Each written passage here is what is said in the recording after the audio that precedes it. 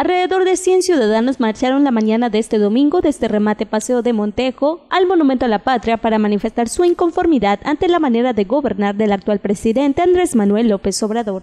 Queremos llamarle la atención a todos los servidores públicos que se pongan a trabajar. En este caso, el Congreso Nacional tiene una propuesta desde mayo, desde nuestra reunión en Morelia en mayo, este, de que AMLO eh, pues está traicionando a la patria específicamente por toda la gente que dejó entrar sin eh, papeles, sin registrar siquiera una huella este, digital. Nos va a ver a todos con las cadenas rotas. Ya estamos libres de esa opresión.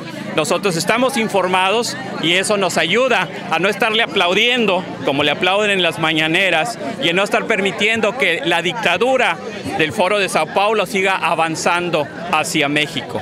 La marcha fue convocada por el Congreso Nacional Ciudadano, quienes aseguran que desde mayo se interpuso una demanda ante el Congreso de la Unión contra el morenista López Obrador.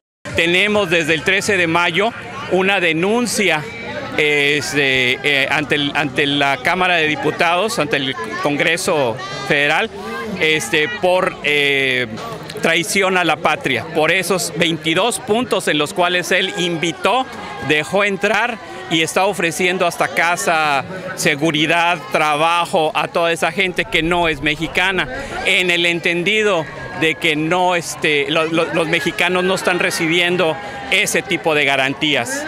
Entonces, eso es traición a la patria, lo tenemos, lo tenemos este, demandado como Congreso Nacional Ciudadano, lo tenemos demandado del Congreso de la Unión.